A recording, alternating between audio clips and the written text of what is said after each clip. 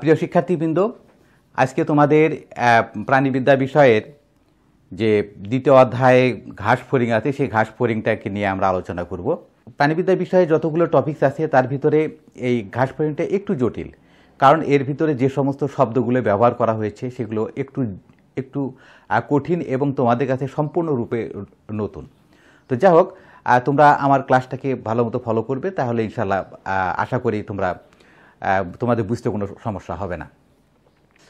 আজকে আমি ঘাস ফড়িংয়ের যে বিষয়গুলো নিয়ে এখানে আজকে আলোচনা করব, তার ভিতরে হলো প্রথমে ইন্ট্রোডাকশন এবং তারপরে থাকবে হ্যাবিট হ্যাবিটেটস তারপরে ক্লাসিফিকেশন এবং মরফোলজি নিয়ে আমরা আলোচনা করব। তো যাই হোক, আমরা আলোচনা শুরু করে দিই। তো আলোচনার শুরুতে আমরা প্রথমে একটু দেখো, এখানে লেখা আছে ঘাস ফড়িং বা গ্র্যাস হোপার তো এখানে আমি তোমাদের একটা কথা একটু বলি, সেটা হলো যে ফড়িং কারা? আসলে আমরা যে প্রাণীটাকে এখানে দেখতেছি, আমরা যে, আমি যে গ্যাস ওপারে যে ছবিটা আমি এখানে আঁকাইছি এরা কিন্তু আসলে কিন্তু ফড়িং না। কিন্তু তারপরে আমরা এখানে লিখছি ঘাস ফড়িং তো তোমাদেরকে জানতে হবে যে কেন এই এই প্রাণীটা ফড়িং না? ফড়িংয়ের কিছু সংজ্ঞা আছে, সেই সংজ্ঞাটা আমাদের একটু জানতে হবে। সেটা হলো যে ফড়িংটা কিন্তু অনেক লম্বা হয় এবং এদের যে অ্যাবডোমেনটা মানে উদরটা অনেক লম্বা হয়। তারপরে এদের যে যে তিন জোড়া যে পদ আছে, সে পদের সাহায্যে কিন্তু এরা চলাচল করতে পারে না। এরা জাস্ট খালি কোনো কিছুকে ধরে সেখানে বসে থাকতে পারে, কিন্তু চলাফেরা করতে পারে না।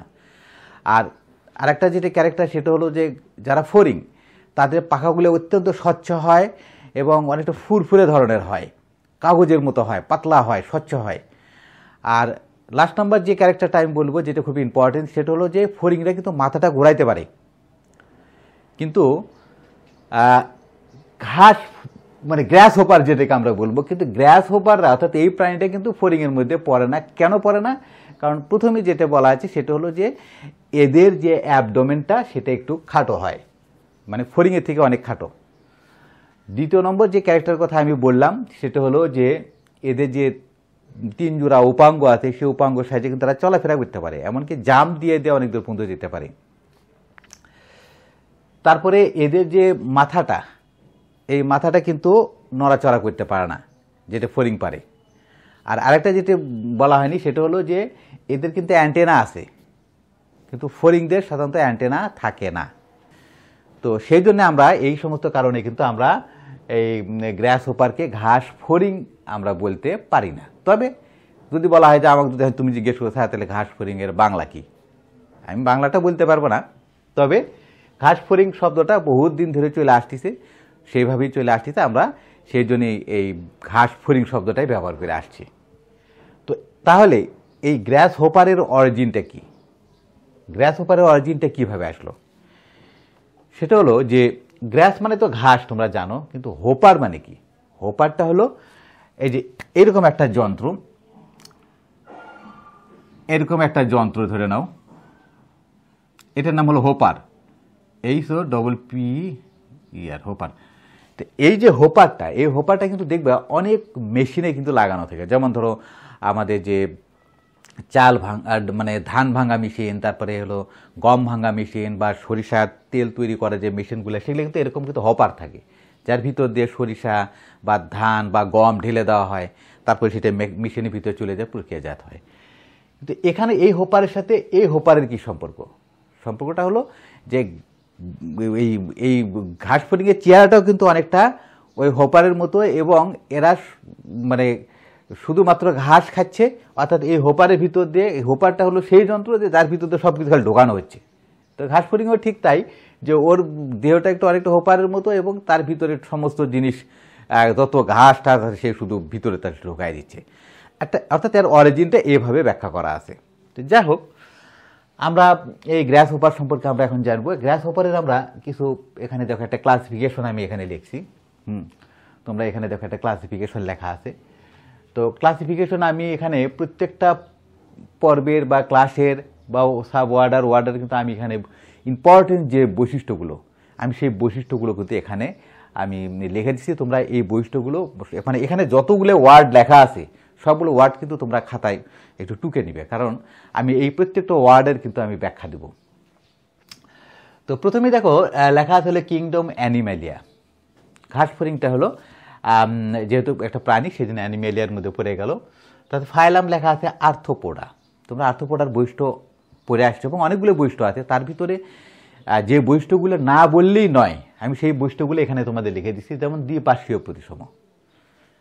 আর্থোপোডারা কিন্তু দ্বিপার্শ্বীয় প্রতিসম প্রদর্শন করে। অর্থাৎ এই প্রাণীর মাঝ বরাবর যদি নির্দিষ্ট একটা অক্ষ বরাবর যদি কাটা হয়, তাহলে দুই পার্শ্বে সমান অঙ্গের সুষম বন্টন হবে। সেটাকে আমরা বলব দ্বিপার্শ্বীয় প্রতিসম। তোমরা পড়েও আসছো প্রথম অধ্যায়ে। তারপরে লেখা আছে অঞ্চলায়ন থাকবে। এদের অঞ্চলায়নটা, অঞ্চলায়ন যেটাকে আমরা বলব ট্যাগমাটাইজেশন। এই যে অঞ্চলায়ন কতগুলো ছোট ছোট খণ্ড মিলে একটা করে অঞ্চল হয়। যেমন ঘাসফণিকের দেখো তিনটে অঞ্চল আছে, মস্তক, বক্ষ এবং উদর। তো এই মানে এই এই অঞ্চলায়নটা একটা খুব গুরুত্বপূর্ণ এই আর্থপোডা পর্বের প্রাণীদের। যেমন ধরো কতগুলো প্রাণী আছে যাদের অঞ্চল তিনটে সুস্পষ্ট থাকে। যেমন আমি এখানে বললাম তোমরা, আমি এই ঘাসফড়িংয়ের কথা বললাম, তিনটা অঞ্চল থাকে। আবার যেমন চিংড়ি চিংড়ির কিন্তু দুইটা অঞ্চল থাকে। যেমন মস্তক আর বক্ষ মিলে একটা অঞ্চল হয় আর উদর একটা অঞ্চল। আবার কতগুলা আর্থপোড আছে যাদের কোনো অঞ্চল থাকে না, পুরা দেহটা একটা অঞ্চল। যেমন জুলাস হাজার পুদি যে প্রাণীটা বলা হয়, একটা মাত্র দেহ। এদের মস্তক, বক্ষ, উদর কোনো আলাদা করা যাচ্ছে না। তো এরকমভাবে এই সমস্ত প্রাণীদেরকে আর্থপোডার প্রাণীদেরকে বিভিন্নভাবে অঞ্চলায়ন করা যায়। তারপরে আসে হলো কাইটিন নির্মিত বহিকঙ্কাল থাকে। অর্থাৎ যত আর্থ আর্থপোড দ্বারা আছে, প্রত্যেকের দেহে কিন্তু একটা কাইটিন নির্মিত একটা কিউটিকুল থাকে। এই কিউটিকুলের শক্ত একটা আবরণ থাকে। সবচেয়ে সুন্দর একটা উদাহরণ দেওয়া যায় হলো চিংড়ির। তোমার চিংড়ির খোলস যখন ছাড়ো, যে খোলসটা আমরা দেখি, স্বচ্ছ যে খোলসটা, এটা কিন্তু তোমার হলো কিউটিকুল। এটা কি দ্বারা তৈরি? এটা এক ধরনের কাইটিন দ্বারা তৈরি। এই কাইটিনটা হলো সেলুলোজ এবং ক্যারাটিনের এক ধরনের মিশ্রণের ফলে পলিস্যাকারাইডের একটা উপাদান দ্বারা এটা তৈরি। হুম তারপরে এরা খুব শক্ত হয়, মসমসে ধরনের হয় হ্যাঁ। সেটাকে আমরা বলব হলো কিউটিকুল অর্থাৎ তাহলে আমরা জানলাম যে আর্থপোডা সকল প্রাণীদের দেহে কিউটিকুলযুক্ত কাইটিনযুক্ত কিউটিকুল থাকবে। এবং যেটা বৈকঙ্কাল হিসেবে থাকবে। তারপরে হলো আসলে হিমোসিল। হিমোসিলটা কিন্তু আর্থপোডার গুরুত্বপূর্ণ একটা বৈশিষ্ট্য। আর তোমরা জানো হিমোসিলের বাংলা যদি আমি বলি, তাহলে সেটাকে আমরা বলব হলো সিলম দেহগহ্বর। অর্থাৎ সিলমের বাংলাটা হলো দেহগহ্বর। তো এই দেহগহ্বরের ভিতরে, আমাদের দেহগহ্বরের ভিতরে কিন্তু কি আছে? আমাদের দেহগহ্বর কোনটা? এটা হলো তো আমাদের দেহগহ্বর এইটা হলে দেহগহ্বরের ভিতরে আমাদের কি আছে? আমাদের দেহগহ্বরের ভিতরে আছে হলো পৌষ্টিকতন্ত্র আছে, লাং আছে, হাড় আছে, এই সমস্ত মিলে এই সমস্ত জিনিসগুলো আমাদের দেহগহ্বরের মধ্যে বসানো আছে। তো আমাদের দেহ গহ্বরের মধ্যে কোনো প্রকার রক্ত থাকে না। অর্থাৎ আমাদের দেহটার এখানে যদি মানে এখানে আমাদের পেটের এখানে যদি কেটে, ভিতরে যদি তুমি হাত ঢোকায় দাও, দিয়ে যদি আমাদের যে পুষ্টিকতন্ত্র যদি নাড়াচাড়া করে হাতটা বের করে নিয়ে আসো, তাহলে কিন্তু এক ফোঁটা রক্ত পাবা না হাতে। তার মানে আমাদের সিলোমের মধ্যে বা দেহ গহ্বরের মধ্যে কোনো রক্ত থাকে না। তবে, যে আর্থপোডা পর্বের যারা প্রাণী আছে, তাদের দেহ গহ্বরের ভিতরে রক্ত দ্বারা পূর্ণ থাকে। সেই জন্য সে, এটাকে বলা হয় হলো হিমোসিল। তারপরে আসা হলো মালপিজিয়ান একটা রেচন অঙ্গ থাকবে। আমাদের যেমন রেচন অঙ্গ বৃক্ষ ঠিক ওরকম আর্থপোডদের আহ, রেচন অঙ্গটা সুতার মতো কতগুলো অঙ্গ থাকে যারা রেচন অঙ্গ হিসেবে ব্যবহৃত হয় যেটাকে আমরা মালপিজিয়ান নালিকা বলব। তো এই হলো মোটামুটি আর্থপোডার আমি ইম্পর্টেন্স বৈশিষ্ট্যগুলো বললাম। তারপরে চলে যাওয়া হলো ইনসেক্টটা বলছে যে সন্ধিযুক্ত উপাঙ্গ। সন্ধিযুক্ত উপাঙ্গ তো বুঝতেই পারছ যেমন দেখো শুধু একটা পেটেই দেখো কতগুলা উপাঙ্গ জোড়া লেগে লেগে আছে অনেকগুলা। এটাকে বলে সন্ধিযুক্ত উপাঙ্গ। তারপরে হলো সুস্পষ্ট মস্তক বক্ষ উদর থাকবে। এই ইনসেক্টার কিন্তু এটা একটা বিশেষ ক্যারেক্টার তো এখন ইনসেক্টার তুমি যদি বলা হয় তাহলে চিংড়ি কি ইনসেক্ট না, কারণ চিংড়িটি সুস্পষ্টভাবে মস্তক বক্ষ উদর কিন্তু আলাদা নয়। কারণ এর মস্তক এবং বক্ষটা এক জায়গায় হয়ে গেছে, যেটাকে সেপালোথোরাক্স বলা হয়, আর অ্যাবডোমেনটা আলাদা। সেই জন্য আমরা চিংড়িকে আমরা ইনসেক্ট বলব না। তবে ইনসেক্টের মস্তক সুস্পষ্ট হতে হবে, বক্ষ সুস্পষ্ট হবে এবং উদর সুস্পষ্টভাবে থাকতে হবে। আর আরেকটা যেটা ক্যারেক্টার সেটা হলো উপাঙ্গবিহীন হইতে হবে। যেমন চিংড়ির দেখো, উদরে কিন্তু উপাঙ্গ থাকে চলন অঙ্গগুলো থাকে। হ্যাঁ কিন্তু যেমন এই প্রায়টার উদরে কিন্তু কোনো কিছু নেই, উদা, উপাঙ্গবিহীন। এটা একটা বিশেষ ক্যারেক্টার ইনসেক্টার আচ্ছা আর পথ থাকবে হলো তিন জোড়া। তারপর হলো টেরিগোটা।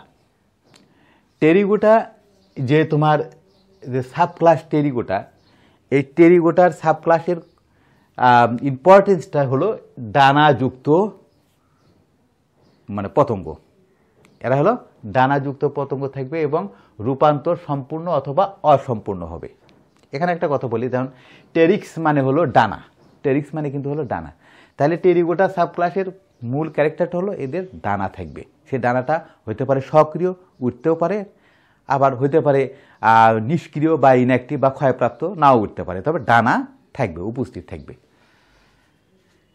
তারপরে হলো ওয়ার্ডার হলো অর্থোপটেরা। খুব ইম্পর্টেন্স একটা ওয়ার্ডার অর্থোপটেরার কারা? অর্থোপটেরার মধ্যে যারা পড়ে তারা হলো তোমার এই যে যত কীট পতঙ্গের মধ্যে গ্র্যাস হোপার জাতীয় যে সমস্ত পতঙ্গগুলো আমরা পাবো, সেগুলি অর্থোপটেরার মধ্যে পড়ে। বলছে যে লার্জ হিন্ড লেক থাকবে। অর্থাৎ এদের একটা পশ্চাৎ পথ থাকবে, যেটা অনেক বড় হবে। যেমন এই দেখো, কত বড় একটা পথ যে পদের সাথে এটি জাম্পিং লেক বলা হয়। এই এই পদের সাথে এরা অনেক দূর পর্যন্ত জাম্প করতে পারে। অর্থাৎ জাম্পিং লেগ থাকতে হবে। তারপরে বলছে হলো দুই জোড়া ডানা থাকবে। এদের দুই জোড়া ডানা। আমি দেখেন এখানে একটা ডানা, এখানে একটা ডানা। দুই জোড়া ডানা থাকতে হবে। এবং সামনের ডানাটা পিছনের ডানাটাকে ঢেকে রাখবে। কখন ঢেকে রাখবে? রেস্টিং অবস্থায়। তারপরে লেখা ছিল রূপান্তর অসম্পূর্ণ। এখানে একটু বলি, রূপান্তর অসম্পূর্ণ মানে এটা হলো কি? যে এদের কোনো লার্ভা স্টেজ থাকে না। যেমন অন্যান্য প্রাণীর লার্ভা স্টেজ যেমন প্রজাপতির লার্ভা স্টেজ থাকে, আবার মাছির লার্ভা স্টেজ থাকে, কিন্তু এদের কোনো লার্ভা স্টেজ থাকে না। তারপরে আরেকটা গুরুত্বপূর্ণ বলছে যে বৃহৎ প্রোনোটাম থাকবে। খুব ইম্পর্টেন্ট একটা ক্যারেক্টার এই অর্থটা। প্রোনোটামটা কী জিনিস? প্রোনোটামটা হলো, দেখবা যে এই যে প্রোথোরাক্স, অর্থাৎ যে তোমার ঘাস ফড়িংয়ের ঘাড়ের উপরে, দেখবে একটা ঘোড়ার জিনের মতো একটা বল্লমের মতো একটা ইয়ে বসানো থাকে। একটা স্ক্লেরাইট বসানো থাকে, এই যেটা। দেখো, এই যে সবুজ কালিতে আমি এখানে আঁকাই দিচ্ছি দেখো। হ্যাঁ এটা এটার নাম হলো প্রোনোটাম তুমি যদি যে কোনো একটা তো তুমি হয়তো জানতে চাচ্ছ যে এটা ঘাস ফরিং কি না তখন এটা দিয়ে বুঝতে পারবে যে এটা একটা ঘাস ফড়িং। এই প্রোনোটামটা থাকবে। তো এই হলো মোটামুটিভাবে অর্থোপটেরার বৈশিষ্ট্য। আর অর্থোপটেরা এই ওয়ার্ডারের কীটপতঙ্গদের নিয়ে যে শাখায় আলোচনা করা হয়, তার নাম হলো অর্থোপটেরোলজি। আর এই অর্থোপটেরোলজিটা হলো অ্যান্টোমোলজির একটা শাখা। অ্যান্টোমোলজিটা হলো সকল কীটপতঙ্গ, আর অর্থোপটেরোলজি শুধুমাত্র অর্থোপটেরা ওয়ার্ডারের কীটপতঙ্গদের নিয়ে যেখানে আলোচনা করা হয়। তারপরে আসে হলো আরেকটা ফ্যামিলি সেটা হলো অ্যাক্রিডিডি। হুম। এই এক অ্যাক্রিডিডিটা হলো তোমার হলো যেটা আমরা কমনলি গ্রাস হোপার বলব যারা। এই গ্রাস হোপারাই সাধারণত এক অ্যাক্রিডিডির মধ্যে পড়ে। তো এক অ্যাক্রিডিডির কিন্তু গুরুত্বপূর্ণ বৈশিষ্ট্য হলো এদের শর্ট অ্যান্টেনা থাকবে। মাথার এটি হলো কি একদম শর্ট হবে। আবার আর এক ধরনের পতঙ্গ আছে গ্রাস হোপার আছে তাদের অ্যান্টেনা অনেক বড় হয়, লম্বা হয়। হ্যাঁ একবারে অনেক বড় হয়, প্রায় দেহের থেকেও লম্বা হতে পারে। সেই ফ্যামিলিটার নাম হলো টেটিনোনিডি টেটিনোনিডি নামক এই ফ্যামিলি যারা কি গ্রাসোপা, তাদের অ্যান্টেনা অনেক লম্বা হবে। আচ্ছা তোমাদের এখানে আমি আরেকটা কথা বলি। দেখবা, কোনো বইয়ে লেখা আছে যে ফ্যামিলি আছে পিগ্রোমরফিডি। তো পিগ্রোমরফিডি, এটি এই ফ্যামিলি যারা গ্র্যাস ওভার হয়, তাদের কিন্তু একটা বিশেষ ধরনের ক্যারেক্টার আছে। সেটা হলো যে এদের ওই ওই গ্র্যাস ওপাররা যারা এই যে পিগ্রো মরফিডির মধ্যে থাকে, তাদের সামনে কিন্তু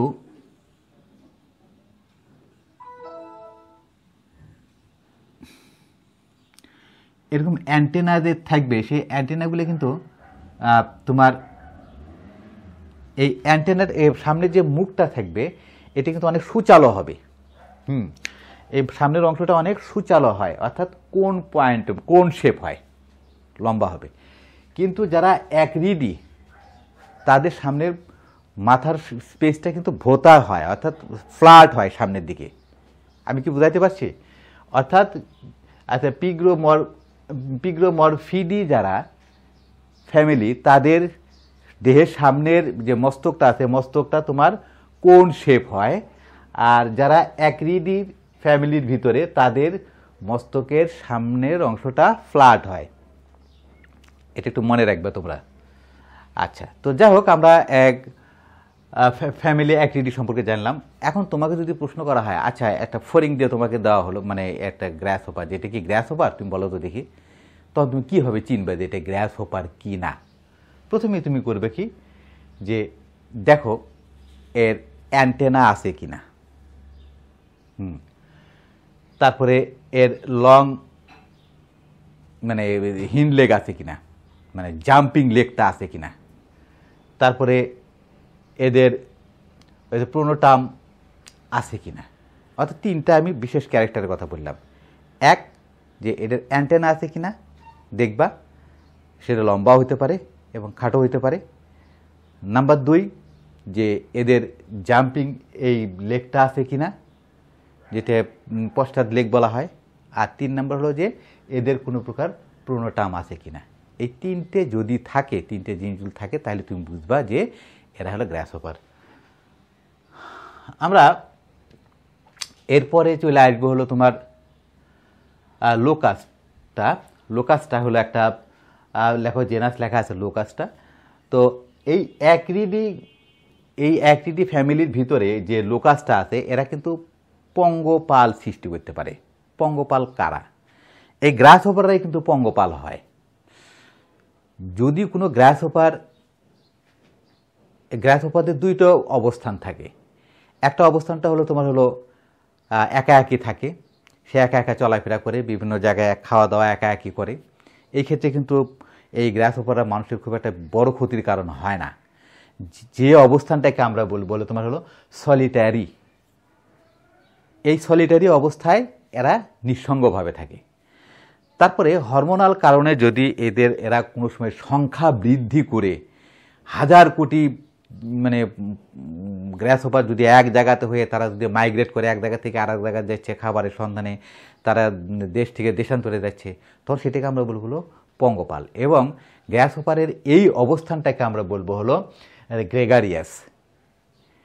তো এই পঙ্গপালরা কিন্তু তখন কিন্তু আমাদের পেস্ট মানে মারাত্মক একটা পেস্ট হিসেবে এরা আমাদের অনেক ক্ষতি সাধন করে থাকে। এখানে একটা বলি যে হোয়াট ইজ পেস্ট? পেস্ট হলো যে যে সমস্ত প্রাণী মানুষের প্রত্যক্ষ বা পরোক্ষভাবে যদি কোনো অর্থনৈতিক ক্ষতির কারণ হয়ে দাঁড়ায়, তখন সেটাকে আমরা বলব হলো পেস্ট। তারপরে আসলে হলো স্পেসিস হলো লোকাসটা এটা ড্যানিকা তো আমরা এখানে একটা কথা বলি, সেটা হলো যে এক এক বইয়ে দেখবা যে এক এক ধরনের উম, বৈজ্ঞানিক নাম ব্যবহার করতেছে। সেটা কোনো বিষয় না। কারণ সকল গ্রাস ওপারেরই বাহ্যিক বৈশিষ্ট্য স্বভাব সবগুলো প্রায় একই রকমের তো যে কোনো জায়গাতে কাজে এখানে যে এক এক এক এক রাইটার এক এক ধরনের বৈজ্ঞানিক নাম ব্যবহার করল সেই জন্য কোনো দুশ্চিন্তার কোনো কারণ নেই। তুমি যে কোনো একটা লিখলেই হলো।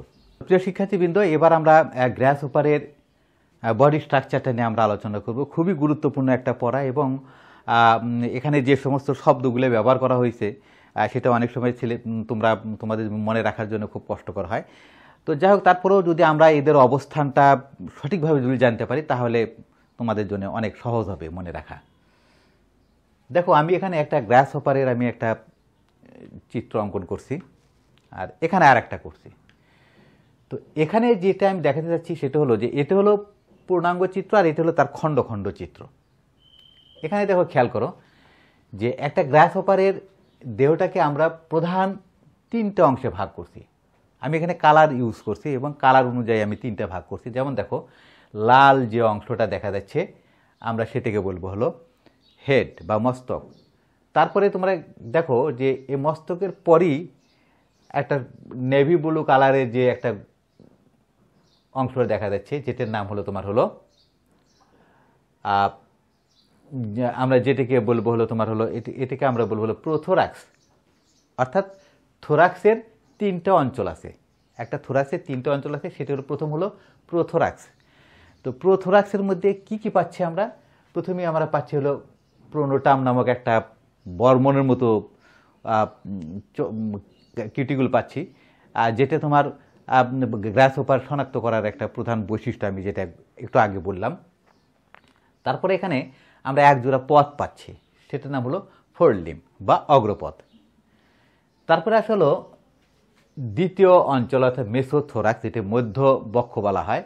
মধ্যবক্ষর এখানে দেখো মধ্যবক্ষের ভিতরে আমরা যেটা দেখতে পাচ্ছি এখানে এখানেও কিন্তু তোমার দেখো আরেকটা পদ দেখা যাচ্ছে। এখানে লাল দেখো, এই যে এখানে দেখো, এই যে এটা পদ হ্যাঁ এটা হলো পদ আর এখানে এক জোড়া ডানা পাচ্ছি। তাইলে আমরা মধ্য মধ্য অঞ্চলে পাচ্ছি হলো একটা ডানা পাচ্ছি।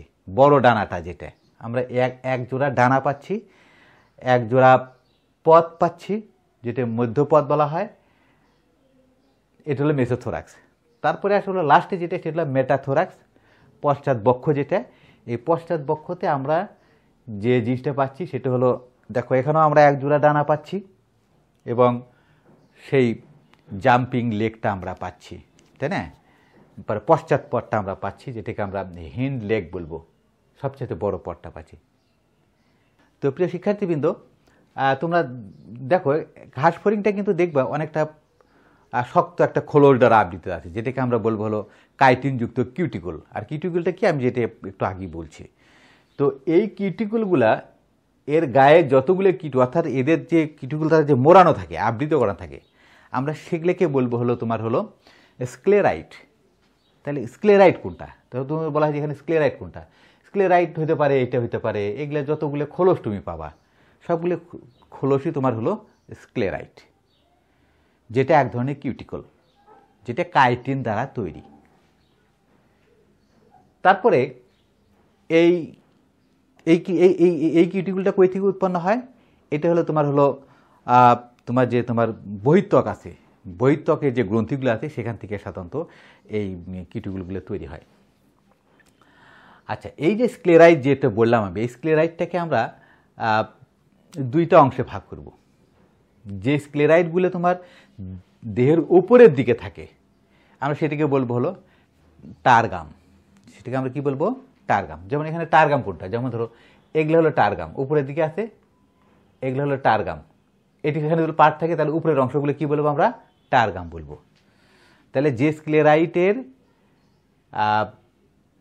যে স্ক্লেরাইটগুলো সাধারণত দেহের পৃষ্ঠীয় অঞ্চলে থাকে, সেটাকে আমরা বলব হলো টারগাম আর যে স্ক্লেরাইটগুলো দেহের অঙ্কীয় অঞ্চলে থাকে, আমরা সেটিকে বলব হলো সেটিকে সেটাকে আমরা হলো স্টারনাম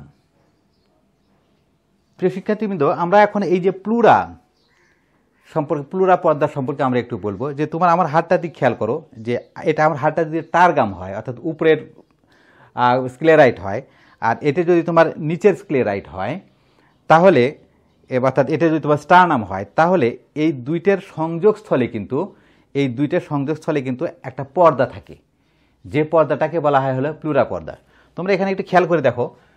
তারপরে আমি লাল কালার দিয়ে কিন্তু একটা জিনিস দেখাচ্ছি, যেটাকে আমরা বলব প্লুরা পর্দা। এই যে লাল কালারটা।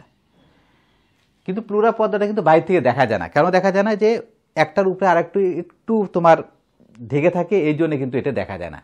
আর প্লুরা পর্দার ভিতরেই কিন্তু তোমার থাকে হলো এই ছিদ্রগুলা যেটাকে আমরা স্পাইরাকুল বলব। যেটাকে আমরা কি বলব? এই স্পাইরাকুল বলব। এই স্পাইরাকুলের ছিদ্রগুলো কিন্তু প্লুরা পর্দাতে থাকে। আরেকটা শব্দ এখানে আছে যে সুচার। এই সুচারটা কি জিনিস? সূচারটা হলো যে কোথাও যেখানে মানে জয়েন্ট থাকবে। তোমার এই স্ক্লেরাইটে বলো স্ক্লেরাইটগুলো যেখানে জয়েন্ট থাকবে। যেমন, এখানে একটা জয়েন্ট একটা একটা স্ক্লেরাইট একটা স্ক্লেরাইট এটা জয়েন্ট তাহলে এটা একটা সুচার। এগুলো হলো সুচার যে দাগ দেখা যাচ্ছে, এগুলো হলো সুচার। অর্থাৎ সুচারটা হলো যে যেখানে তোমার স্ক্লেরাইটগুলো পরস্পর সংযুক্ত হয়, তার যে রেখাগুলো, যেমন এগুলো যদি একটা আমাদের এক একটা যদি স্ক্লেরাইট হয়, তাহলে আমার যে সংযোগগুলো, এই সংযোগগুলোকে আমরা বলব হলো সূচার। আমাদের মস্তিষ্কে এরকম আছে। বা আমাদের যে, এই যে মস্তিষ্কটা যে আটটা অস্থি দ্বারা ঢাকা থাকে, এই অস্থিগুলো কিন্তু একটার সাথে আরেকটা লেগে থাকে। তাই সেই জায়গাটাকে আমরা, সেই রেখাপথটাকে আমরা বলব হলো সূচার। তো প্রিয় শিক্ষার্থীবৃন্দ আমরা এর পরবর্তীতে যেটা করব সেটা হলো যে মস্তক অঞ্চলে কি কি ধরনের অংশ আছে, তারপরে উদর অঞ্চলে কী কী ধরনের অংশ আছে? তোমার এই যে পদ আছে, পদগুলোতে কী কী ধরনের অংশ আছে সেটা নিয়ে আবার আলাদা আলাদা করে আমরা আলোচনা করতেছি।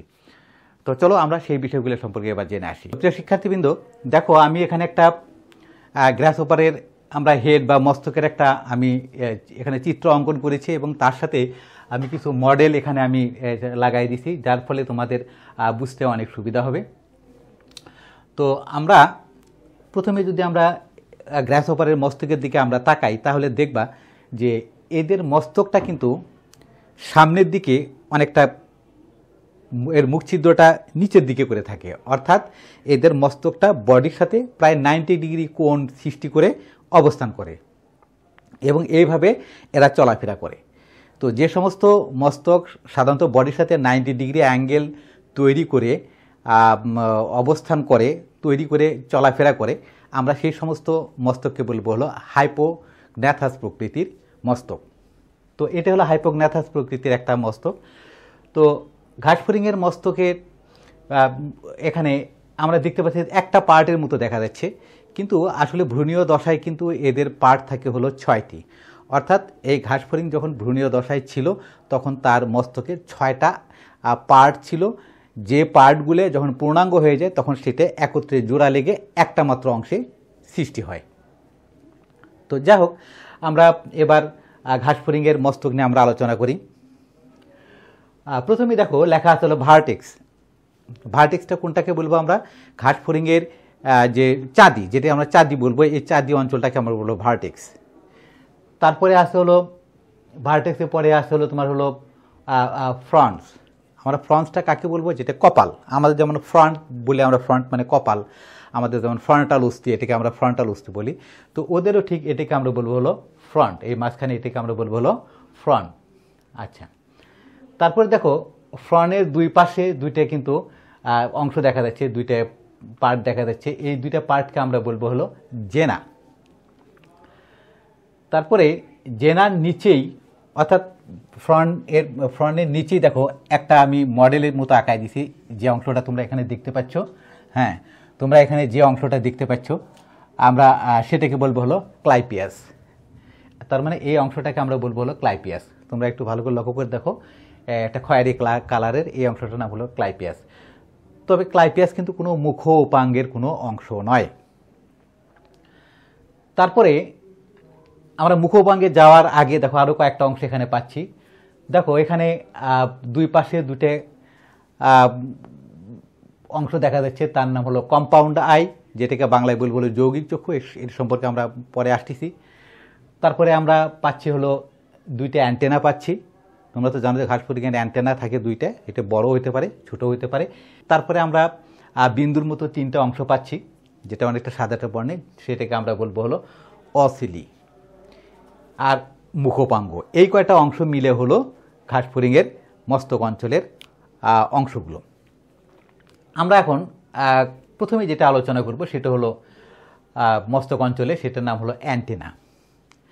অ্যান্টেনাটা ঘাস ফড়িংয়ের একটা বিশেষ ক্যারেক্টার। আমি গত ক্লাসে বলছিলাম যে এদের অ্যান্টেনা থাকবে এবং এই অ্যান্টেনাটা কারও কারও খাটো হয়, কারও কারও অনেক লম্বা হয়, যেটা দোহে, প্রায় দেহের থেকেও লম্বা হতে পারে।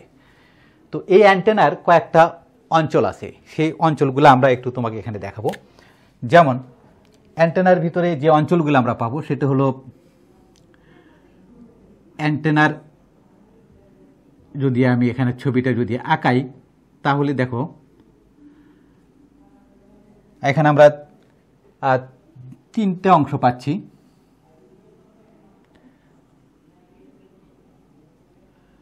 আমরা তিনটে অংশ পাচ্ছি। প্রথমটাকে আমরা বলব হলো স্কেপ তারপরের অংশটাকে আমরা বলব হলো পেরিসেল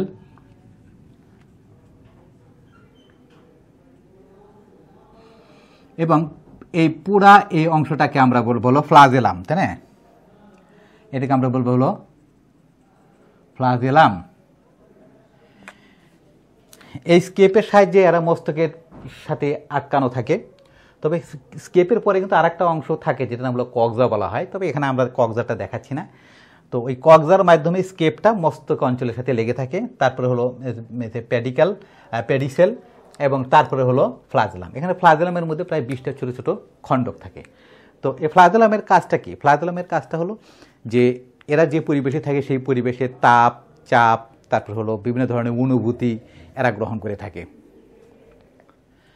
তারপরে আমরা যে অংশটায় চলে যাব সেটা হলো তোমার হলো কম্পাউন্ড আই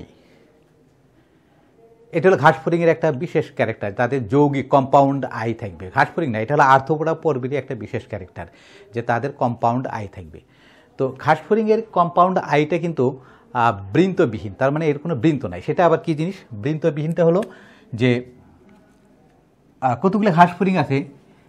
কতগুলো ঘাস ফড়িংয়ের এদের বৃন্তবিহীন বৃন্তবিহীন মানে যে যে সমস্ত যে সমস্ত কম্পাউন্ড আইগুলো যে সমস্ত কম্পাউন্ড আইগুলো একটা বৃন্তের সাথে লাগানো থাকে। এটা হলো বৃন্ত। আর এটা হলো তোমার সেই কম্পাউন্ড আই এটা হলো সেই কম্পাউন্ড আই তো এই কম্পাউন্ড আইটা কাদের পাবো আমরা? যেমন চিংড়ি। চিংড়ির ক্ষেত্রে কিন্তু আমরা এই ধরনের কম্পাউন্ড আইটা পাবো। কিন্তু এই ঘাস ফড়িংয়ের কিন্তু তোমার খেয়াল করে দেখো আর কোনো বৃন্ত নাই, অর্থাৎ বৃন্তবিহীন। এই কম্পাউন্ড আই সম্পর্কে আমাদের বিস্তারিত পড়া আছে, যেটা আমরা পরবর্তীতে জানব। তবে এখানে শুধু আমরা বলে রাখি কম্পাউন্ড আই যেটা কাজ, সেটা হলো এটা একটা দর্শনীয় অঙ্গ। এর ভিতরে অনেকগুলো অমাটিডিয়াম থাকে। যে অমাটিডিয়ামগুলো তোমার কোনো আলোক সংকেতের মাধ্যমে, আলোক সংবেদী অঙ্গ, একটা অঙ্গ, যার মাধ্যমে এরা প্রতিবিম্ব সৃষ্টি করে যার ফলে তারা দেখতে পারে। তারপরে আসলো তোমার তিনটে ফুটার মতো সাদা অংশ আমরা দেখছি, তার নাম হলো ওসিলাস বা ওসিলি যেটাকে আমরা বলব। এই ওসিলিটা, এর যেটা কাজ, এই ওসিলির মাধ্যমে কিন্তু এরা বিভিন্ন ধরনের, এরাও তাপ, চাপ, অনুভূতি, বিশেষ করে আলোর তাপমাত্রাটা এরা কিন্তু গ্রহণ করতে পারে ওসিলির মাধ্যমে। তারপরে এখানে আর যে অংশটা আছে, সেটা হলো ক্লাইপিয়াস। ক্লাইপিয়াস হলো একটা চর্মবধ অংশ। যে অংশটা যে অংশটা পরই তোমার মুখ ছিদ্রটা বা মাউথ পার্সটা অবস্থান করে। আমরা এখন মস্তক অঞ্চলের সবচেয়ে গুরুত্বপূর্ণ যে অংশটা সেটাতে আমরা চলে যাব, সেটা হলো মাউথ পার্স অফ গ্র্যাস ওপার দেখো, আমি একটা, এখানে একটা মডেলের চিত্র আঁকাইছি, তোমরা একটা খেয়াল করো।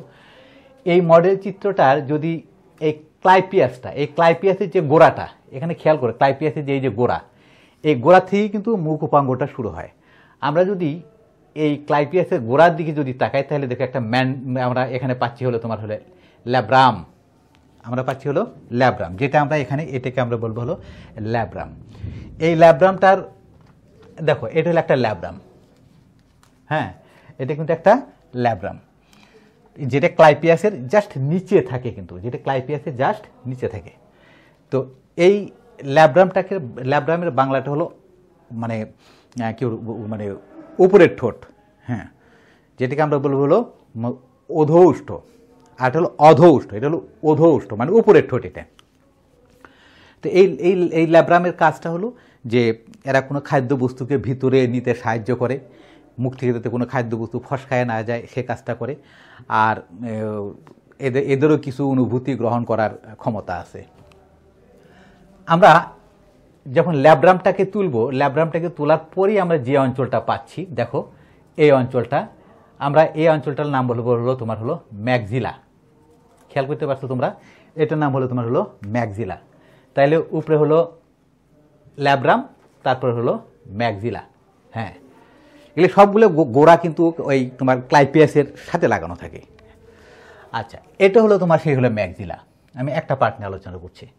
এটাকে আমরা বলব হলো ম্যাগজিলা এই ম্যাগজিলার কী কী অংশ থাকে? প্রথমে থাকে হলো এই অংশটা গোড়ার যে অংশ তার নাম হলো কার্ডো তারপরে থাকে হলো স্টাইপস লম্বা হাতলের মতো যে অংশটা, এই স্টাইপস থেকে একটা অংশ হয়ে আসছে, তার নাম হলো ম্যাগজিলারি পাল্প তারপরে স্টাইপসের গোড়ায় দুইটা অংশ আমরা পাচ্ছি একটার নাম হলো ল্যাসিনিয়া ভিতরেরটা, আর বাইরেরটাকে আমরা বলব হলো গ্যালিয়া এই মিলে হলো মোটামুটিভাবে ম্যাগজিলা ম্যাগজিলা থাকে হলো এক জোড়া।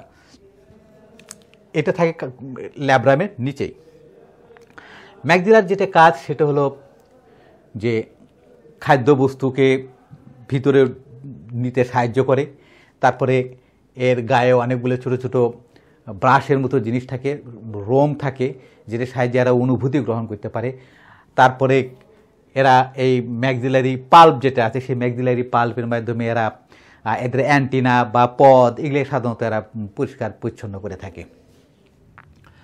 মোট কথা হলো যে খাদ্য যাতে মুখের ভিতর থেকে বের হয়ে নেওয়া যায়, সেই কাজটা এরা করে থাকে। ম্যাগজিলার পরে তাহলে আমাদের গেল হলো, ল্যাব্রাম গেল, তারপর হলো ম্যাগজিলা গেল। দেখো ম্যাগজিলার পরেই কিন্তু দেখা যাচ্ছে হলো ম্যান্ডিবল সরি ম্যান্ডিবল। ম্যাগজিলার পরেই আসছে কিন্তু হলো ম্যান্ডিবল, এটা হলো ম্যান্ডিবল। আমরা এখন এটা পাবো হলো ম্যান্ডিবল, দেখো, এটা হলো ম্যান্ডিবল। এই ম্যান্ডিবল থাকে হলো দুইটা। এটা কালচে বর্ণের, শক্ত এবং এটা হলো কি বলব মানে ইনসেক্টের সবচেয়ে একটা গুরুত্বপূর্ণ খাদ্য গ্রহণের একটা অঙ্গ, যেটা গায়ে কিন্তু অনেকগুলো টিথ থাকে। এই টিথের মাধ্যমে কিন্তু এই টিথগুলো দেখো করাতে দাঁতের মতো, যেগুলো একটার সাথে আরেকটা লিখে আর কর্তনের কাজ করতে পারে। তো এই ম্যান্ডিবলটা তাহলে কি হয়? এটা এটা কিন্তু মানে ম্যান্ডিবলটা এরা এরা এরকম নড়াচড়া করতে পারে হ্যাঁ? এরা নড়াচড়া করে কোনো বস্তুকে কর্তন করে, কোনো বস্তুকে চর্বণ করে চর্বণ করে সেটা মুখের ভিতরে নিয়ে নেয়। তাহলে কর্তন, চর্বণ এই সমস্ত কাজগুলো ম্যান্ডি সাধারণত ম্যান্ডিবলগুলো করে থাকে। তারপর দেখো, তাহলে ল্যাব্রাম, আবার আসি, ম্যাগজিলা, তারপরে হলো ম্যান্ডিবল চলে গেল। দেখো ম্যান্ডিবুলের পরেই কিন্তু দেখা যাচ্ছে একটা জেব্বার মতো অংশ- একটা জেব্বার মতো অংশ দেখা যাচ্ছে, লাল যেটা এটার নাম হলো হাইপোফ্যারিংস বা লিঙ্গুয়া বলা হয় যেটাকে জিহ্বা উপজিহ্বা যেটা বাংলায় বলব। এখন কথা হলো, যার মুখ ছিদ্রটা কোথায়? এখন প্রশ্ন হলো, যার মুখ ছিদ্রটা কোন জায়গাতে? এটা তো আমাকে জানতে হবে। মুখ ছিদ্রটা হলো এই যে মুখ ছিদ্র আমি যদি এইভাবে এই পার্টটা ধরি, তাহলে মুখ ছিদ্রটা হলো, এটা হলো আর মুখ ছিদ্র এটা হলো মুখ ছিদ্র তার মানে এই উপজেহব্বাটা যে আছে, এই উপজেহব্বার ওপর দিয়েই চলে গেল হলো মুখ ছিদ্রটা। তার মানে এটা হলো মুখ ছিদ্র। হুম, এটা হলো মুখ ছিদ্র। তো এটাকে আমরা বলব হলো হাইপোফ্যারিংস হাইপোফ্যারিংসটা এটা তোমার যে অন্ননালী আছে, যে অন্ননালী যেখান থেকে শুরু হয় ঘাস ফড়িংয়ের তার গোড়ার সাথে কিন্তু এই হাইপোফ্যারিংসটা লেগে থাকে। আর এই হাইপোফ্যারিংসের গোড়া থেকে কিন্তু বিভিন্ন ধরনের যে লালা গ্রন্থি আছে ঘাস ফড়িংয়ে সেই লালা গ্রন্থি থেকে লালাগুলো বের হয়। এই লালাগুলো বের হয় যেগুলো পরিপাকের সাধারণত অংশগ্রহণ করে। সেই লালাগুলো করে কি? হাইপোফ্যারিংস খাদ্যবস্তুকে নড়াচড়া করে এবং এই লালা থেকে যে অ্যানজাইমগুলো বা লালাগুলো খাদ্যের সাথে মিশ্রিত করে। পরিপাকের একটা পরিপাকের লার্কি হিসেবে কাজ করে আর কি। হ্যাঁ। তাহলে হাইপোফ্যারিংস গেল এবং সবচেয়ে নিচের যে অংশটা, তার মানে আমরা কিন্তু এগুলো উপর থেকে দেখতেছি। হ্যাঁ উপর থেকে একবারে নিচে এখন যেটা, একবারে নিচে যেটা থাকবে সেটার নাম হলো তোমার হলো একবারে নিচে দেখো এইটার নাম হলো এবার চলে আসলো হলো ল্যাবিয়াম। এই অংশটার নাম হলো ল্যাবিয়াম। যেটাকে আমরা বাংলায় বলব হলো আহ, অধোষ্ঠ বা নিম্ন চোয়াল। হ্যাঁ। তো এই যেটা এই চিত্রটা আমরা এখানে দেখতে পাচ্ছি হ্যাঁ এটাকে আমরা বলব হলো ল্যাবিয়াম। এই ল্যাবিয়ামের পরে আর কোনো অংশ থাকে না। হুম। তো এই ল্যাবিয়ামের কয়েকটা পার্ট থাকে। সেই পার্টগুলো আমরা আলোচনা করব। সেটা ওর প্রথমে হলো সাবমেন্টাম যেটা তোমার মস্তিষ্কের সাথে লাগানো থাকে। সাবমেন্টাম সাবমেন্টামের পরে আসবে হলো মেন্টাম এই মেন্টাম থেকে দেখো মেন্টাম থেকে দেখো তিনটা অংশ বের হয়েছে। হ্যাঁ মেন্টাম থেকে তিনটা অংশ বের হয়েছে। তিনটা অংশের মধ্যে তো আমরা প্রথমেই যে অংশটা পাবো সেটা হলো ল্যাবিয়াল পাল্প তারপরে আমরা পাচ্ছি হলো লিগুলি। এটা হলো লিগুলি। এই এই অংশটা হলো লিগুলি। তারপরে লিগুলির পরে লিগুলির সাথে দুইটা অংশ লেগে আছে। বাহিরেরটাকে আমরা বলব হলো প্যারাগ্লোসা, এটা হলো বাহিরের প্যারাগ্লোসা, এটা হলো বাহিরের প্যারাগ্লোসা, আর ভিতরে একটা কাটার মতো দেখা যাচ্ছে, এটার নাম হলো গ্লোসা। ল্যাবিয়াল পাল্পের কাজ কি? ল্যাবিয়াল পাল্পের কাজটা হলো যে খাদ্যবস্তুকেও এটাও মুখের ভিতরে নেয়। তারপরে তোমার হলো এর যে তোমার ল্যাবিয়াল পাল্পগুলো আছে, সেই পাল্পগুলোর মাধ্যমে এরা অনুভূতি গ্রহণ করতে পারে। এবং খাদ্যবস্তু যাতে মুখ থেকে ফসকায় না যায় সেই জন্য এই ল্যাবিয়াল পাল্পগুলো গুরুত্বপূর্ণ ভূমিকা পালন করে থাকে। তাহলে আমরা আবার প্রথম থেকে বলি, প্রথমেই থাকে হলো সবার উপরের উপরের দিক থেকে যদি আমরা বলি, উপরের দিক থেকে যদি আমরা শুরু করি মানে আমরা একটা ঘাস ফরিঙে যখন সামনের দিকে তাকাবো, মুখের দিকে যখন তাকাবো, প্রথমে আমরা পাবো হলো ল্যাব্রাম তারপরে পাবো হলো আমরা ম্যাগজিলা তারপরে আমরা পাবো হলো ম্যান্ডিবল তারপরে আমরা পাবো হলো হাইপোপ্যারিংস তার সবার নিচে আমরা পাবো হলো ল্যাবিয়াম এই ল্যাবিয়ামের মাধ্যমে এটা শেষ হয়ে গেল, আর কিছু থাকল না। এবং তোমাদের যখন আরশোলার মুখোপাঙ্গ যখন তোমরা ডিসেকশন করবা ওই ঠিক একইভাবে কিন্তু এই ডিসেকশনটা করতে হবে। সবার আগে যে পর্যায়ক্রমে আমি যেটা দেখালাম এইভাবে তোমাদের অংশগুলো তুলে তুলে তোমাদের স্লাইডে দেখাতে হবে। প্রিয় শিক্ষার্থীবৃন্দ আমরা এখন আহ, ঘাসফড়িংয়ের যে বক্ষ অঞ্চলে যে পদগুলো থাকে যে আমরা তোমরা তো জানো যে ঘাস ফড়িংয়ের বক্ষ অঞ্চলে তিন জোড়া পদ থাকে। সেই তিন জোড়া পদের মধ্যে আমরা সবচেয়ে বড় পদ যেটা অর্থাৎ পশ্চাৎ অঞ্চলে যে পদটা থাকে সেটা নিয়ে এবার আমরা আলোচনা করতেছি। দেখো প্রথমেই লেখা আছে হলো কগজা যার সাহায্যে এরা দেহের সাথে লেগে থাকে সেটা হলো কগজা কগজার পরের অংশটার নাম হলো ট্রোকান্টার ট্রোকান্টারটা অর্থাৎ ট্রোকান্টার হলো ছোট্ট একটা শক্ত একটা অংশ, যার পরের থেকে শুরু হয় হলো ফিমারটা। এটা হলো ফিমার। এখান থেকে এই পর্যন্ত এটা হলো ফিমার। হ্যাঁ এই ফিমারের ভিতরে দেখো, এই চড়া অংশে দুই ধরনের মাসুলস থাকে। সেই মাসুলগুলোর মধ্যে একটা হলো ফ্লেক্সার মাসুল আর একটা হলো আচ্ছা এক্সটেনসর মাসুল ফ্লেক্সার মাসুলের কাজটা হলো কি? যে যদি পাটাকে উপরের দিকে উঠায়, যেমন আমার, আমরা যদি হাতটাকে উপরের দিকে উঠাই, কোনো বস্তু ধরে দিলে হাতটাকে যদি উপরের দিকে তুলি হ্যাঁ তখন সেটাকে আমরা বলব হলো যে মাসুলটা কাজ করে, অর্থাৎ পাটা তুলতে যে পেশিটা কাজ করে, তার নাম হলো ফ্লেক্সার মাসুল, এবং পাটাকে যদি আবার পূর্ব অবস্থায় এটা ছেড়ে দেয় যদি, তাহলে যে মাসুলটা কাজ করে সেটা হলো এক্সটেন্সর মাসুল। তারপর হলো এই অংশটির পর থেকে শুরু হয়েছিল, দেখো হলো টিবিয়া, এটাকে আমরা বলব অনেক লম্বা একটা অংশ, যেটাকে আমরা টিবিয়া বলব। টিবিয়ার গায়ের সাথে অনেকগুলো স্পাইন থাকে, এই স্পাইনগুলো এদেরকে দেহটাকে রক্ষাও করে, এবং কোনো শক্ত বস্তুর সাথে লেগে এরা উপরের দিকে বা কোথাও যেতে সাহায্য করে। তারপরে দেখো টিবিয়ার শেষে অংশে দেখো, এরকম তিনটে ছোট ছোট অস্থি দেখা যাচ্ছে। যে অস্থিগুলোর নাম হলো টার্সোমেরি। এই টার্সোমেরি অস্থিগুলোকে আমরা বলব হলো টার্সাস। এই টার্সোমেরি অস্থিগুলোকে আমরা কি বলব একত্রে? টার্সাস আর এক একটা অস্থিকে আমরা বলব হলো টার্সোমেরি। আর তো প্রিয় শিক্ষার্থী, তোমাদের আমি এখানে একটু, একটা কথা বলি। সেটা হলো যে আমরা যে এখানে যে, এই যে টার্সোমেরি এক, দুই এবং তিন। আমরা যে এখানে তিনটে টার্সোমেরি পাচ্ছি, এই তিনটে টার্সোমেরির প্রত্যেকটা সংযোগস্থলে কিন্তু কিছু অ্যাডহেসিভ অর্গান থাকে। যে অ্যাডহেসিভ অর্গানগুলোকে আমরা বলব হলো অ্যারিলিয়াস বা পেলভিলাস। তো এই অ্যাডহেসিভ অর্গান এখানে আছে হলো একটা, দুইটা, তিনটা এবং এই যে তোমার দেখো যে দুইটা নখর অর্থাৎ ক্লর মাঝে আছে হলো একটা। এই যে চারটে অ্যাডহেসিভ অর্গান যে আছে, এই অ্যাডহেসিভ অর্গানের কাজ কি? যদি, অনেক সময় দেখবে যে ঘাস ফড়িং কিন্তু ওয়ালের ওয়াল দিয়েও কিন্তু উপর দিকে উঠতে পারে। অর্থাৎ অ্যাডহেসিভ অর্গানের কাজটা হলো ওই কোনো বস্তুকে চোষণ তল হিসেবে মানে ধরে। যেমন টিকটিকি। টিকটিকি যে ওয়াল বেয়ে বেয়ে যে উপর দিকে উঠে, তার কারণটা হলো কি? এদেরও এদেরও অ্যাডহেসিভ অর্গান আছে। ঠিক এরকম ঘাস ফড়িংয়ের এরকম অ্যাডহেসিভ অর্গান আছে, যার মাধ্যমে এরা কোনো বস্তুকে মানে শোষণ তলের মাধ্যমে আঁকড়ায় ধরে। প্রিয় শিক্ষার্থীবৃন্দ, আমরা ঘাস ফড়িংয়ের উদর অঞ্চলটাকে আমরা টোটাল এগারোটা খণ্ডকে বিভক্ত করব।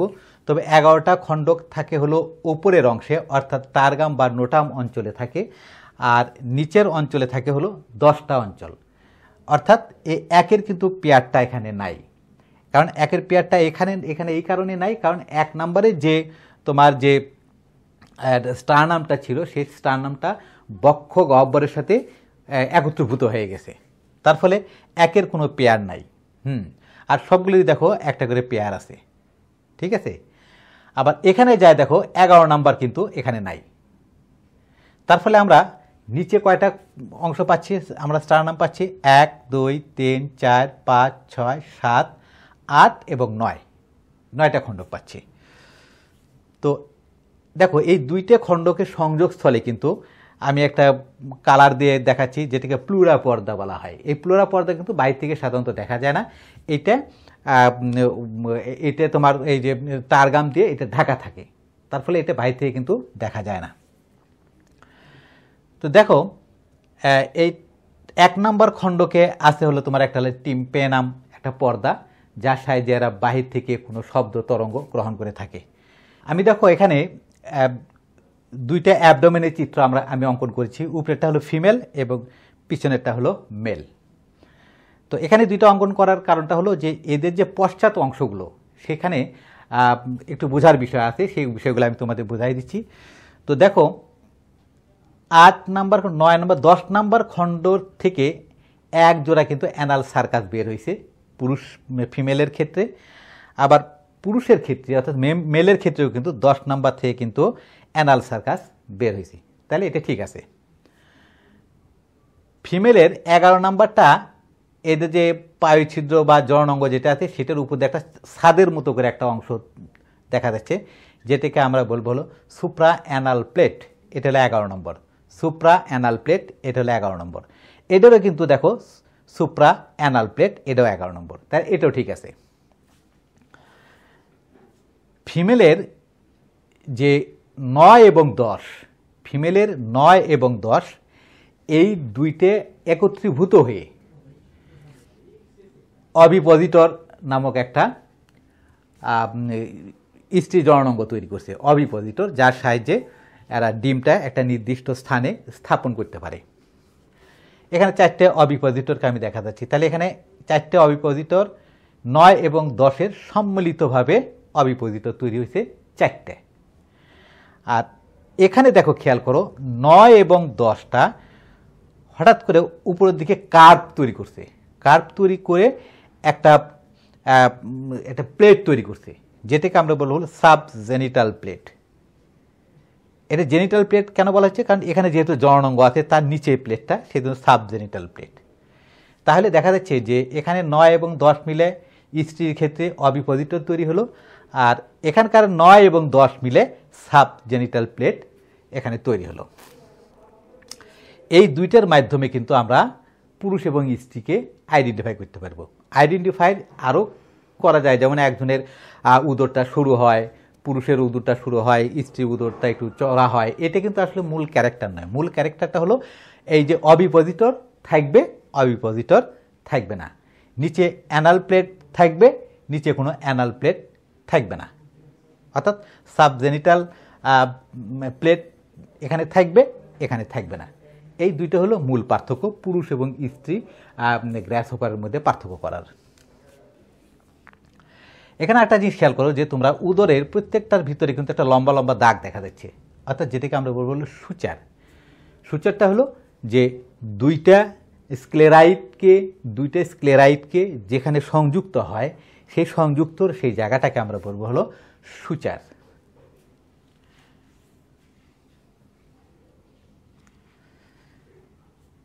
ঘাসফড়িংয়ের এই পশ্চাৎ অংশের উপর ভিত্তি করে কিন্তু ঘাসফড়িংরা কিন্তু সেক্সুয়াল ডায়মরফিজম এই প্রদর্শন করে।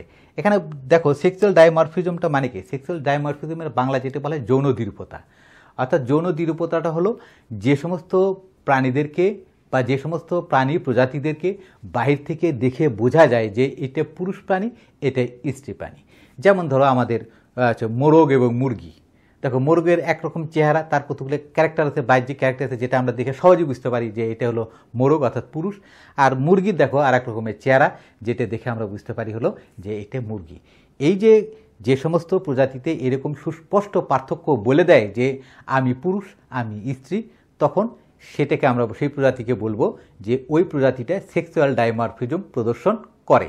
তাহলে ঘাস ঘাসফড়িংও সেক্সুয়াল ডাইমারফিজম প্রদর্শন করে। সেটা কার মাধ্যমে? একজনের অবিপজিটর আছে এবং আর একজনের অবিপজিটর নাই। একজনের সাব জেনিটাল প্লেট আছে আর একজনের সাব জেনিটাল প্লেট নেই। এই দুইটার মাধ্যমে আমরা ঘাসফড়িংয়ের সেক্সুয়াল ডাইমরফিজম আমরা নির্ণয় করতে পারি। আমরা এখন ঘাসফড়িংয়ের আহ, সর্বশেষ যে অঞ্চলটা নিয়ে আলোচনা করব, সেটা হলো ঘাসফড়িংয়ের ডানা বা উইং। তোমরা জানো যে ঘাসফড়িংয়ের যে থোরাক্স অঞ্চল আছে, যে সেই থোরাক্স অঞ্চলটাকে আমরা তিনটে অঞ্চলে ভাগ করছিলাম। একটা হলো প্রোথোরাক্স, একটা হলো মেসোথোরাক্স এবং আরেকটা হলো মেটাথোরাক্স। প্রোথোরাক্সে কোনো ডানা থাকে না, আর এই ডানাটা অর্থাৎ অগ্র ডানাটা থাকে হলো মেসোথোরাক্সে, অর্থাৎ মধ্যবক্ষ অঞ্চলে। আর এই ডানাটা থাকে, যেটা হিন্ড, উইং বা পশ্চাৎ ডানা বলব, সেই ডানাটা থাকে হলো তোমার হলো মেটাথোরাস অঞ্চলে। তো অগ্র মধ্য অঞ্চলে অর্থাৎ পুরোথোরাক্স অঞ্চলে যে ডানাটা থাকবে, যেটাকে আমরা অগ্র ডানা বলব, সেই ডানাটা একটু শক্ত ধরনের হয়। এবং এই ডানাটা একটু শুরু হয় আর কি। এবং এই ডানাটার কয়েকটা নাম আছে, যেমন ধরো এখানে ট্যাগমিনাও বলা হয় আবার ইলাইট্রাও বলা হয়, আবার উইং কভার্ড বলা হয়। এটা উইং কভার্ড কেন বলা হচ্ছে? যে কোনো ঘাস ফড়িং যখন তোমার রেস্টিং অবস্থায় থাকে, তখন এই ডানাটা এই পিছনের ডানাটাকে সাধারণত ইয়ে করে রাখে, ঢেকে রাখে। তো এই ডানাটা উড়ার সাথে অত ওতপ্রোতভাবে জড়িত নয়, তবে যখন উড়ে, অর্থাৎ এই ডানার সাহায্যে যখন এরা উড়ে, তখন কিন্তু এই তোমারটা অগ্র ডানাটা ফোর উইংটা তখন করে কি?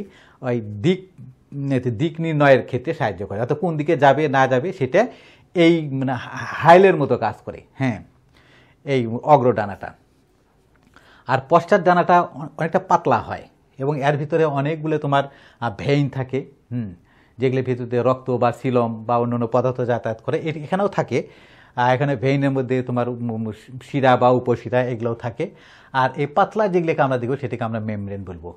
আর এই ডানাটা কি? সাধারণত উড়ার ক্ষেত্রে এই ডানাটাই ব্যবহৃত হয়ে থাকে। তো যাই হোক, আমরা এই ডানা সম্পর্কে আমরা জানলাম। তো প্রিয় শিক্ষার্থীবৃন্দ, আমরা যে গ্র্যাস হোপারের যে যে বডির যে বিভিন্ন অঞ্চল এবং তার যে উপাঙ্গ সমূহ সম্পর্কে আমরা জানলাম, এটা অনেকটা একটু জটিল পড়া। তো তোমাদেরকে আমি যেটা বলব, সেটা হলো আমার লেকচারটা একটু বারবার তোমরা শুনবা। আর এবং বোর্ডে যে সমস্ত কথাগুলো লেখা আছে সেই লেখাগুলো প্র্যাকটিস করলেই দেখবে যে তোমাদের মোটামুটি এগুলো অনেকটা সহজ হয়ে গেছে। তারপরেও যদি কোনো তোমাদের কাছে প্রশ্ন থেকে থাকে তাহলে আমাকে অবশ্যই তুমি ইনবক্স করবে বা কমেন্ট সেকশনে তুমি আমাকে জানাই জানাই দেবে। আমরা পরবর্তীতে এই ঘাস ফড়িংয়ের উপর বিভিন্ন প্রশ্ন এবং প্রশ্ন উত্তর নিয়ে আমরা আর একটা পর্ব করব। সেখানে আমি তোমাদের প্রশ্নগুলো উত্তর দেওয়ার চেষ্টা করব। তো আজকে আমরা ঘাস ফড়িংয়ের আহ, এ পর্যন্ত আমরা ক্লাসটা শেষ করছি। আমরা আগামী ক্লাসে ঘাসফুরিংয়ের অন্য একটা অংশ নিয়ে আমরা আলোচনা করব। সে পর্যন্ত আমি ডক্টর ইসিম ইকবাল এখানে বিদায় নিচ্ছি। আল্লাহ হাফেজ।